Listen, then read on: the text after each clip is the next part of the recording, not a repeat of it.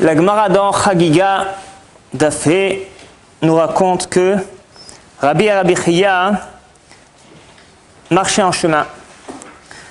Et quand ils sont arrivés dans une ville, ville, village, ils ont demandé, demandé aux gens est-ce qu'il y a ici un Talmid Chacham?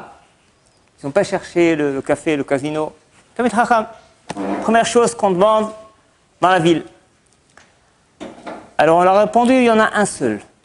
Il y en a un seul, ta ville, et il est aveugle. Alors Rabbi a dit Rabbi Chia, bon, comme c'est un homme euh, un peu handicapé, c'est pas de ton kavod, je vais aller tout seul. Rabbi, Rabbi, Rabbi c'était Rabbi Danassi, donc c'était, n'est-ce pas, le Nassi, le rédacteur de la Mishnah. Bon, c'était, n'est-ce pas, un des plus grands rabbins qu'il y avait. Il a dit, je vais tout seul. Et Rabbi lui a dit, non, non, non, non, Tamit Racham, je vais avec toi. Ils ont été ensemble. Ils ont discuté du vrai Torah, et quand ils sont sortis, cet homme aveugle leur a dit, Atem baltem panim anirim ve'enam ro'im. Panim aro'im ve'enam nir'im. Comme vous avez eu eh bien, le privilège, le mérite d'honorer un visage, donc quelqu'un qu'on voit, mais qui lui ne voit pas, eh bien, vous aurez aussi le privilège, le mérite de recevoir eh bien, celui qui voit, mais qui est invisible, c'est-à-dire Hachem. Comme ça, il les a et là, a dit à Rabbi son camarade, tu as vu, si je t'avais écouté, j'aurais manqué, j'aurais raté cette bracha extraordinaire. Top. Alors, pour essayer de comprendre la bracha de cet homme-là, mis à part le jeu de mots sympathique, mais évidemment, Rabbi n'a pas été ébloui, fasciné que par le jeu de mots, il a compris qu'il y avait ici, n'est-ce pas, une profondeur, une richesse particulière. Top. Alors en fait, on vit dans un monde, un monde qui est beau, qui est accueillant, qui est intéressant, c'est vrai. Mais c'est le monde, comme on appelle, du look. C'est-à-dire que, eh bien, on est intéressé, attiré, a priori tout de suite, par la façade extérieure. Parce qu'on voit les couleurs, le son. En effet, les grandes sociétés de publicité, eh bien, ils misent, n'est-ce pas, sur les couleurs et le son, etc., le mouvement. Tout ce qui va attirer une personne, attirer son attention, tout ce qui va avoir un impact sur son esprit et son sentiment. C'est ce qu'on voit. C'est une vision, mais qui est très souvent extérieure, superficielle, artificielle. Un homme qui est aveugle, il est handicapé, c'est vrai, en effet, mais il a en contrepartie un grand atout, c'est qu'il a cette faculté de pouvoir se mettre en connexion avec la profondeur des choses, avec la réalité. Quand on voit quelqu'un, comment on réagit? Qu'est-ce qu'on voit? Est-ce qu'il est grand, petit, gros, maigre, beau, moche, etc. Eh bien, on se, fie à l'apparence extérieure. Et on oublie beaucoup de choses. Par exemple, qu'il a une neshama qui peut être que dosha, kodesh kodashim. À titre d'exemple, chez le Khatam Sofer, a débarqué une fois dans son Beth Midrash un homme qui paraissait un peu bizarre, un peu courbé, un peu tordu de corps, un peu bizarre. Et il entre Beth Midrash, les élèves, certains se sont moqués de lui, d'autres lui ont servi un verre de thé, de café, etc. Et après, il est rentré dans la chambre de Khatam Sofer. Il est resté trois quarts d'heure, et après, le Khatam Sofer l'a accompagné jusqu'à la porte, passé chaleureusement. Et après, n'est-ce pas, il a fait un petit Dvar Torah en expliquant que c'est important d'honorer chaque personne. Après, il a dit, eh bien, ceux qui ont honoré cet homme-là, eh bien, ils seront heureux toute leur vie. Ils seront riches, auront des enfants. Et ceux qui l'ont méprisé, eh bien, n'auront pas d'enfants toute leur vie. À tel point. Il leur a dit, sachez que cet homme, c'était Navi. Malgré les apparences, eh bien, c'était Eliyahu Navi. C'est-à-dire qu'en fait, un homme qui paraît bizarre peut cacher une profondeur, une richesse intérieure particulière, unique en son genre. C'est ce qu'un homme aveugle, il a comme atout. Malgré son grand handicap, eh bien, il a cette possibilité, cette faculté de pouvoir se mettre en contact, en connexion avec des valeurs réelles, véridiques de la personne, des valeurs véridiques du monde. Vous savez que chacun d'entre nous a la possibilité de développer une certaine sensibilité à quelque chose de particulier. Par exemple, un guitariste dans un orchestre de 30 musiciens, eh bien, il va entendre la guitare bien plus que les 30 autres Kéline qui est là-bas. Pas aussi pour un pianiste. Il va faire attention plutôt au piano qu'autre chose. Pourquoi? Parce qu'il a développé eh une sensibilité particulière au niveau de son oreille, son esprit, pour capter ces instruments. Autre exemple, le jour c'est prouvé par des scientifiques, psychologues, que des enfants, des bébés, qui, shalom, ont des parents qui sont sourds, eh bien, ces, bébés-là, quand ils tombent, ils se mettent à pleurer, eh bien, ils ne crient pas. Ils font que des grimaces. Si les parents sont aveugles, quand ils tombent, eh bien, ils se mettent à crier sans faire aucune grimace. Pourquoi? Parce que, inconsciemment, ils ont appris, n'est-ce pas, de quelle façon leurs parents vont réagir. Est-ce qu'on pleure ou aux grimaces? Ça a pris quelques mois, mais ils ont capté le message. Ils ont développé une sensibilité particulière à cela. Pas aussi pour un homme aveugle. Un homme aveugle, il est coupé du monde, c'est vrai, mais un homme aveugle, eh bien, a le sens du toucher très développé. La, pas la lecture en braille. Il a pas aussi euh, développé la sensibilité au niveau de son oreille, son ouïe. Pourquoi? Parce que sa façon de se mettre en connexion avec le monde, c'est ça. Il n'a pas la vision, il va développer les atouts qu'il a. Pareil aussi au niveau des valeurs spirituelles, comme il n'est pas limité par la façade du monde extérieur, cet homme aveugle, et eh bien automatiquement, quand il se met en contact avec quelqu'un, il ne va pas avoir son apparence extérieure. Est-ce qu'il est grand ou petit, beau, moche, etc. Mais il va se mettre en connexion avec les valeurs intérieures, avec la profondeur, la richesse profonde et intérieure de chaque homme qui va être dévoilée par la parole, par les échanges, par les vraie Torah, comme cet homme-là. Et c'est pourquoi cet homme-là, il a dit à Rabbi Rabbi vous avez eu le mérite, la sagesse, la finesse, l'intelligence d'honorer un homme qui est aveugle. Pourquoi?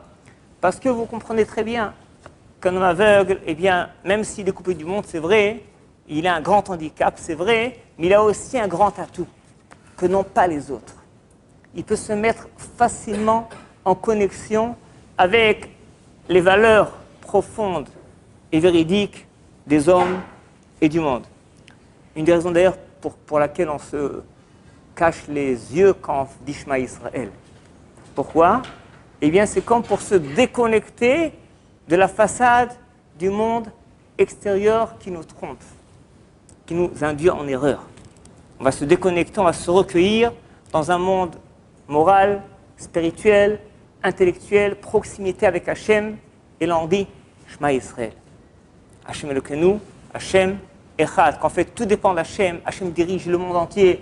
Bien que tu aies l'impression que c'est les boîtes, les sociétés, les machines, les hommes politiques qui dirigent le monde, c'est pas du tout ça. Hachem Echad. Hachem Echad, pas uniquement il est, il est unique, n'est-ce pas, mais il, il est unique à diriger le monde de A à Z. Et on doit fermer les yeux pour ça, parce qu'en effet, les yeux, encore une fois, c'est un grand atout, mais c'est aussi un grand handicap. Et c'est pourquoi cet homme aveugle a rajouté quand vous avez le mérite eh bien, d'honorer un homme aveugle, parce que vous n'allez pas vous limiter, vous fier aux apparences extérieures, parce que vous savez que chaque homme, chaque élément a une profondeur, a une richesse intérieure, eh bien, grâce à ça, vous aurez le mérite. Eh bien, la kbil, c'est-à-dire de recevoir, n'est-ce pas, panim, visage, comme divin, recevoir Hachem qui, lui, voit, est invisible. Alors là, on va expliquer un élément de plus par rapport à ce qu'on a dit. Il leur a dit qu'Hachem, il voit, est invisible. Alors la Gemara dans Balchot Dafid nous dit, par rapport à cela. Il y a dans le Teilim, il y a cinq Teilim qui commencent par Nafshi et Hachem. Un d'eux, n'est-ce pas, c'est Kouf Dalet qu'on dit à Rosh Chodesh. Et la nous dit que c'est par rapport à quoi a dit David Ameler Nafshi. L'Amran là Keneged. Il les a récités, eh bien c'est par rapport à Hachem et la Neshama.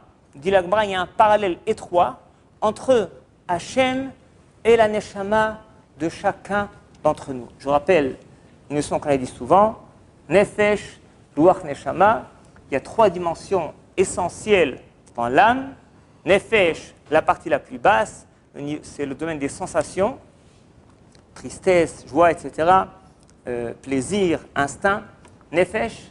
Ensuite, à Ruach, au niveau du cœur, c'est la volonté, la dynamique, l'initiative. Et après, a la Neshama. Au niveau de l'esprit, eh bien, c'est la réflexion, la décision, etc. Dad, Bechira. On parle ici de Neshama. Alors, ceux qui sont intéressés par cela, vous voyez dans Nefesh HaChaim, la phrénologie explique bien dans Shar Aleph quelle est l'importance et la faculté de chacune de ces dimensions. Nefesh, pouvoir, Neshama. Dans là-bas, il, il, écrit que la Neshama n'est jamais affectée, atteinte par aucune Avera. La faute, elle va souiller les parties appelées Nefesh et Ruach, mais la Neshama est toujours pure. Neshama, Hatatbi Teora. Donc, Allah nous dit que ces cinq Barchinafshi, c'est pour euh, désigner les cinq euh, troncs communs qu'il y a entre Hachem et notre Neshama.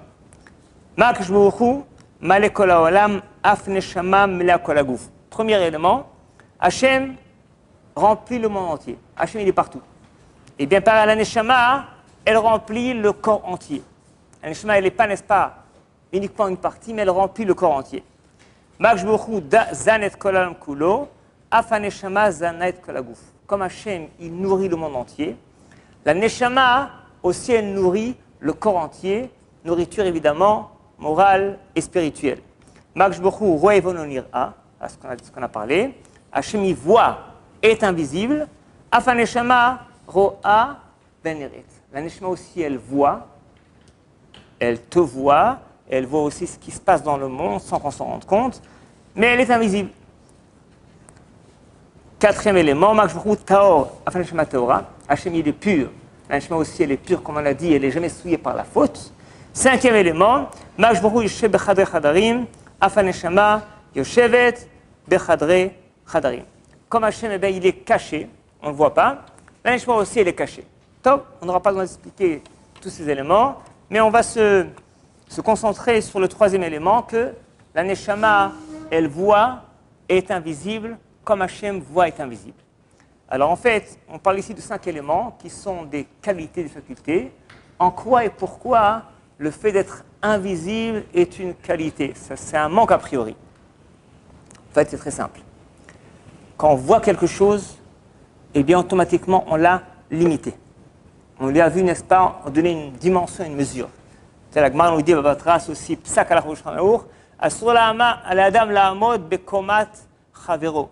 On n'a pas le droit, eh bien, de contempler un champ de blé. Ah, comme il est beau. Pas on met des barrières. Pourquoi? Parce que ça fait du Ainara. Mauvais œil. Quoi, mais j'ai un œil bon, j'ai pas un œil mauvais. Oui, c'est vrai.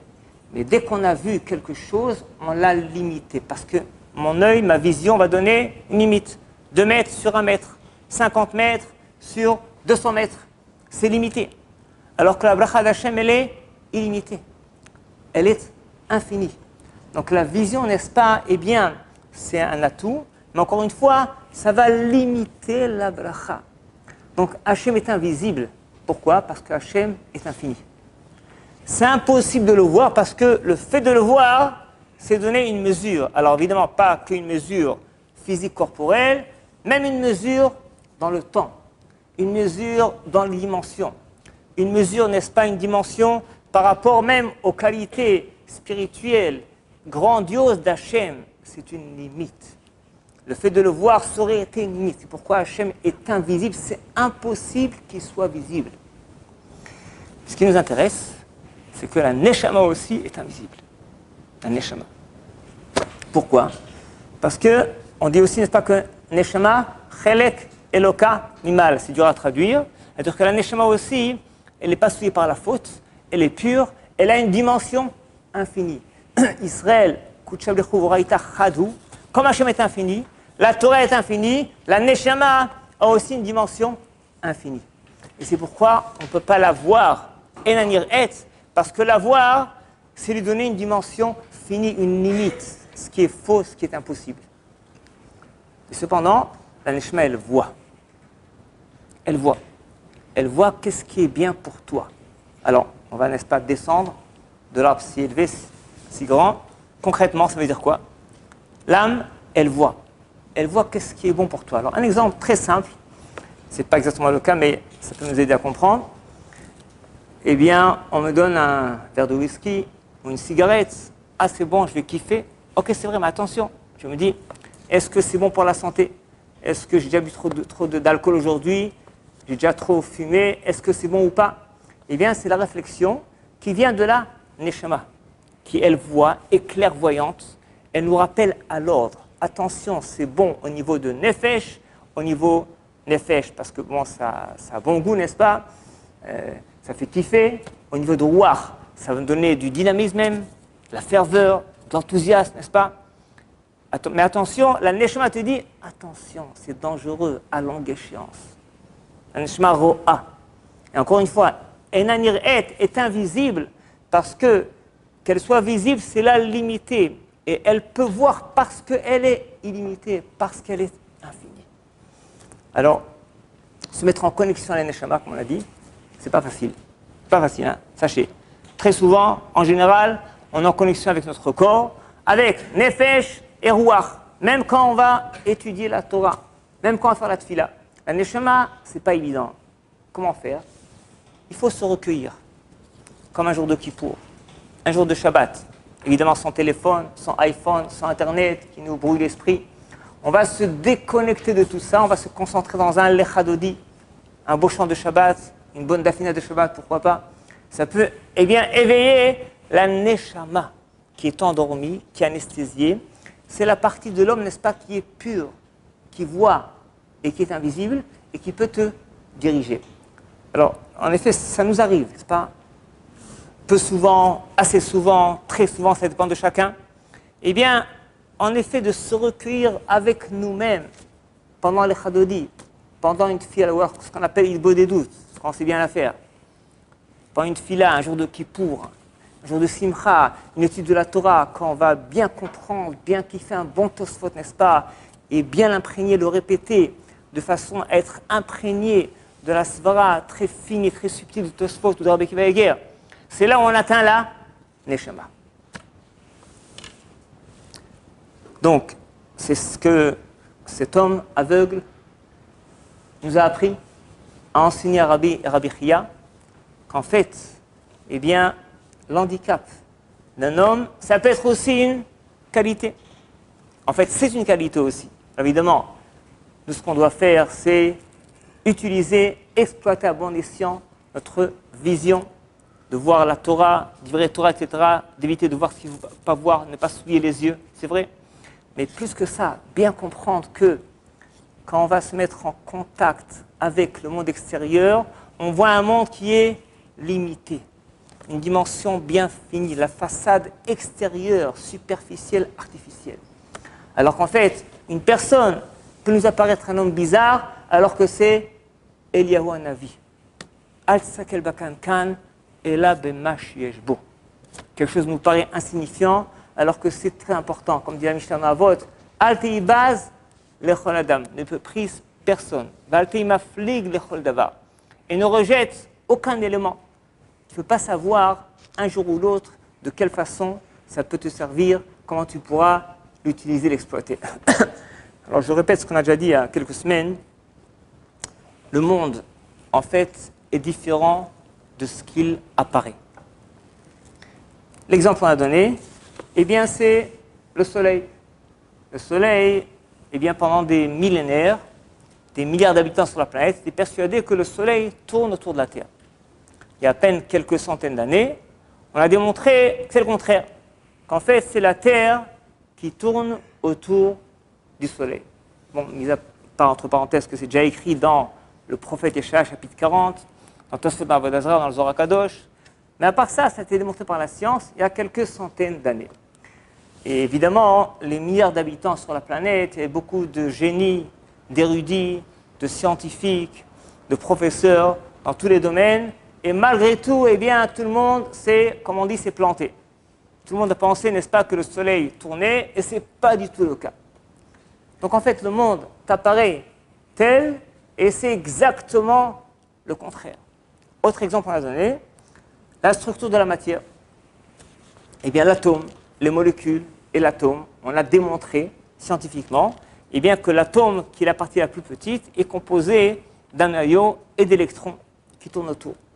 Et en fait, il y a plus de vide que de condensé dans cet atome, dans cette matière. En fait, le monde, c'est du vide.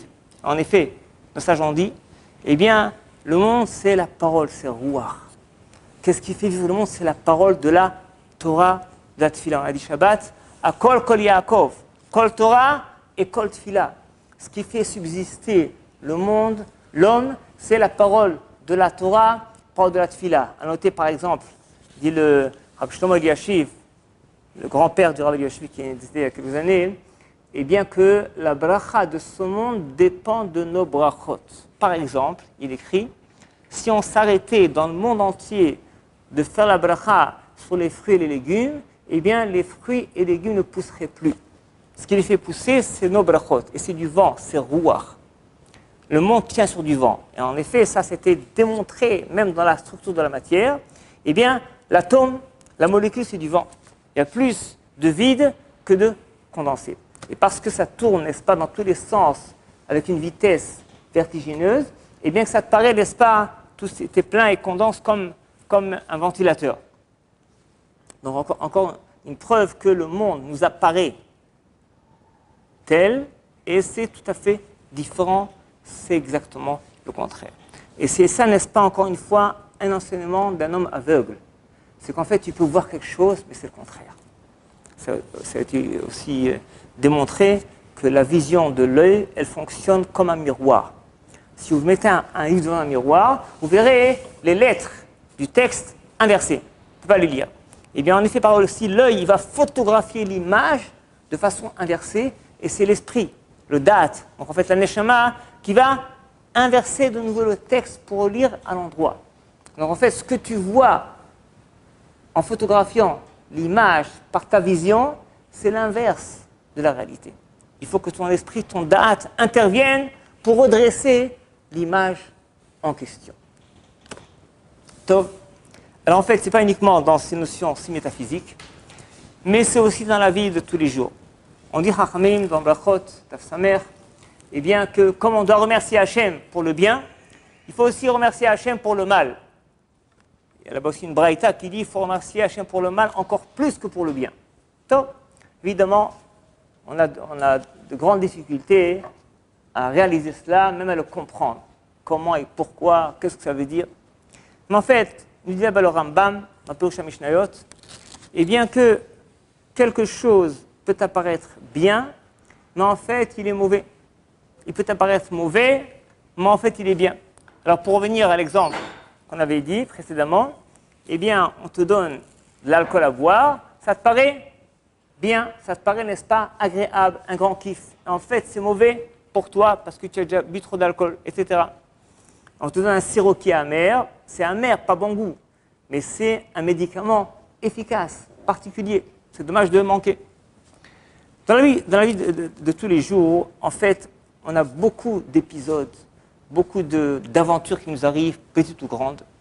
Et très souvent, on a tendance à râler, rouspéter pour n'importe quoi lorsque les choses ne se sont pas réalisées exactement comme on a prévu et programmé.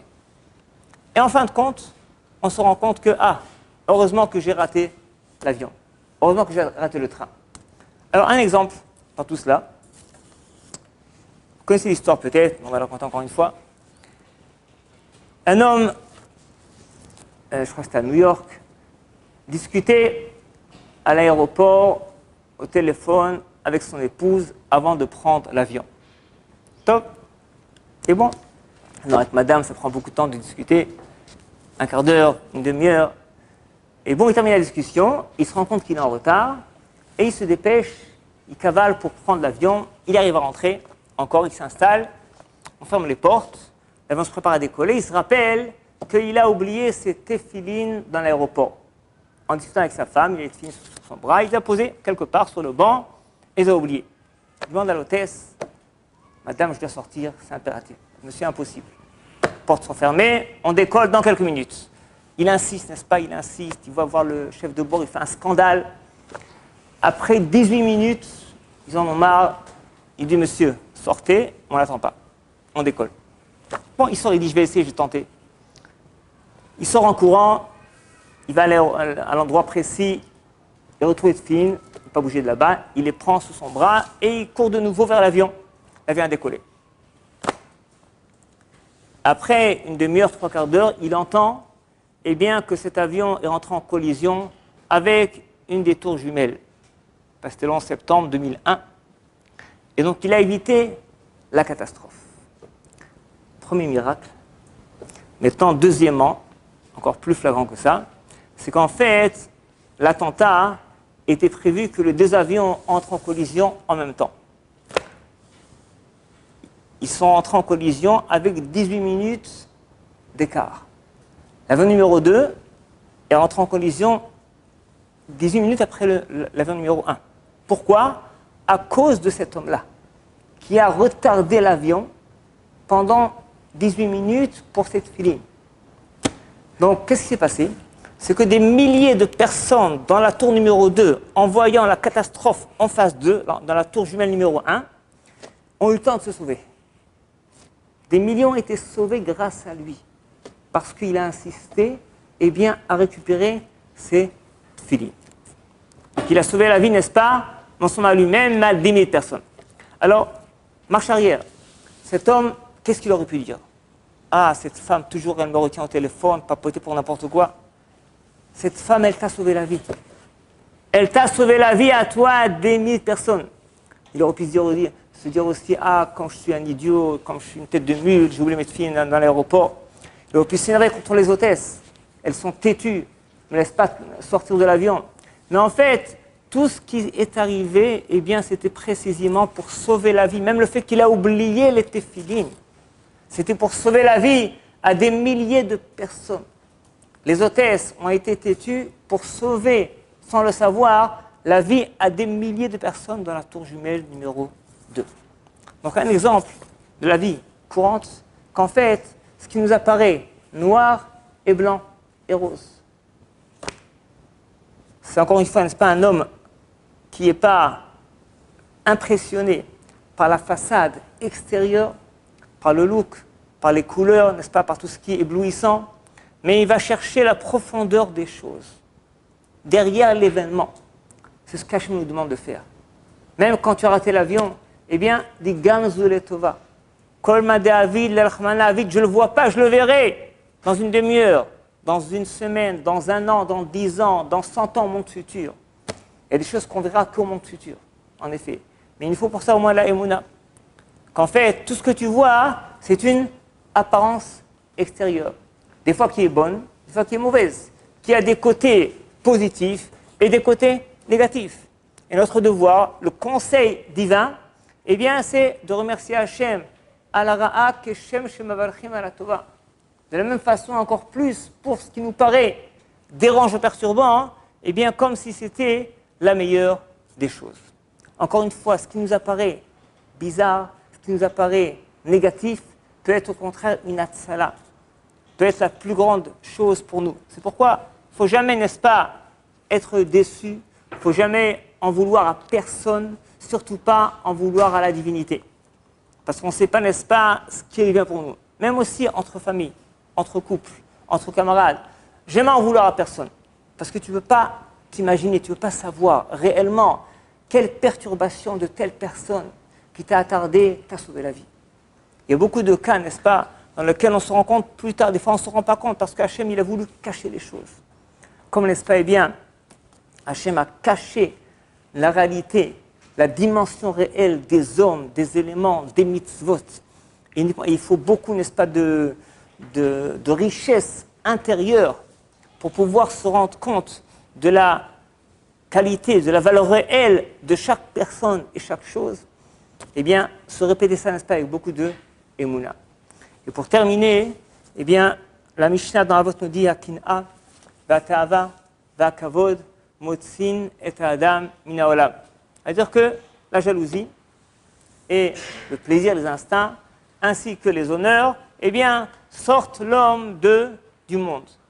Alors, mis à part le pshat, c'est-à-dire qu'on peut perdre son monde à cause de ça, il dit le Ravolbe, min olamo apnimi. Ces trois défauts eh bien, vont sortir, déconnecter l'homme de son monde intérieur. C'est-à-dire que chacun de nous, il a un monde intérieur, bien riche, bien intense. La Neshama, n'est-ce pas, habite et dirige ce monde-là.